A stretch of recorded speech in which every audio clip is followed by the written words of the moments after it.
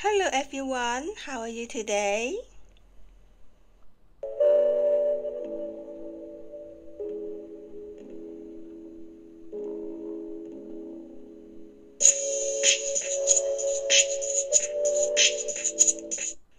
Today, we're talking about a Chinese herb, Jue Ming Zi.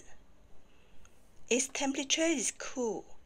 The nature of Jue Ming Zi is to calm liver and moisten downwards.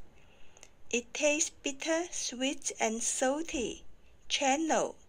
Juan goes to liver, kidney, and large intestine channels.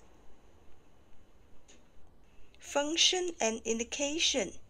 Juan clear liver heat, anchor liver yang, for red eyes, poor vision, headache, dizziness, and high blood pressure, and also Jue Ming Zi moisten downwards at large intestine for constipation due to dryness.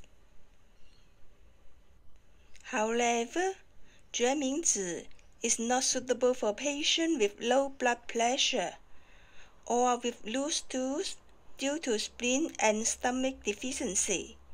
Caution for pregnancy.